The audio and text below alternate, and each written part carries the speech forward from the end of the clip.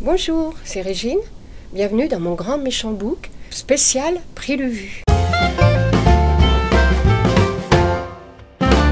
C'est parti pour la troisième édition du Prix le Vu, le samedi 23 novembre à 10h30. Le Prix le Vu est un prix littéraire qui récompense un auteur et son ouvrage écrit en gros caractères. Régine, où on peut trouver les livres en gros caractères? Bonjour Pauline. Eh bien, les livres en gros caractères se trouvent ici, juste derrière moi, dans le pôle lecture confort. Mais attention, Pauline, tu peux aussi en trouver dans le pôle faux local, quand l'histoire se passe dans la région Centre-Val de Loire, comme par exemple les livres de Janine Berduca. Bah, pourquoi tu parles de Janine Berduca Pauline, enfin, Janine Berduca est notre invitée d'honneur le samedi 23 novembre, le jour du lancement du prix Le Vu. Janine Berduca viendra pour échanger avec son public et une rencontre qui sera suivie par une vente dédicace. Et pourquoi elle est notre invitée d'honneur? Bah Parce qu'elle a eu le prix Le Vu en 2017, la première édition, pour son livre La Maison de Louise. Et justement, puisque je vous parle de Janine Berduca, après Les Secrets de Lise, qui est paru en janvier 2019, elle a sorti en juin de cette année son dernier roman, la messagère de l'espoir aux éditions Bouinotte. Un récit donc historique qui se passe dans un village du Berry, à Cluson, et euh, dont l'histoire se déroule dans l'été 44. Régine, est-ce que tu peux nous parler rapidement du prix Le Vu Oh ben bien sûr, alors là, oui.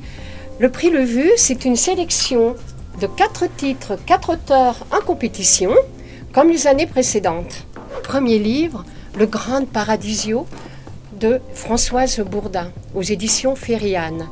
Un livre où on retrouve donc Lorenzo, un vétérinaire passionné depuis sa plus tendre enfance par les animaux sauvages, et il va réaliser son rêve d'enfant en créant un parc animalier dans le Jura.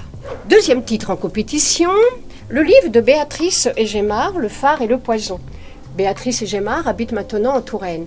Et dans son livre, c'est un roman policier historique qui se passe au XVIIIe siècle, au temps de la Pompadour et de Louis XV. Troisième titre en compétition, Parfum de larmes d'Étienne Tritt, aux éditions donc euh, Large Vision. Étienne Tritt donc, euh, vit maintenant à Bourgueil et son récit se passe notamment à Bourgueil, où c'est une histoire euh, d'amitié entre deux hommes qui font leur service militaire, mais sur fond également d'histoire sentimentale.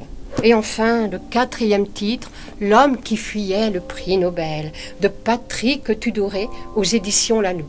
Il s'agit donc ici d'un homme misanthrope à qui on décerne un prix Nobel, mais donc euh, qui ne veut pas de l'effervescence de médiatique, et donc il va fuir la capitale pour se réfugier chez des amis. Et cet homme est également un solitaire depuis le décès de euh, sa femme. Alors on suit son escapade sentimentale et littéraire. Voilà pour les quatre titres de la sélection Prix du Vu. Donc comme les années précédentes, le public pourra donc euh, voter euh, grâce au bulletin de vote euh, qui sera à disposition donc à la banque de prêt, mais il pourra aussi voter donc en ligne sur le site de la médiathèque. Et la clôture du vote aura lieu donc le samedi 28 mars à la fermeture de la bibliothèque. Et donc le lauréat sera annoncé le samedi 4 avril 2020 à 10h30.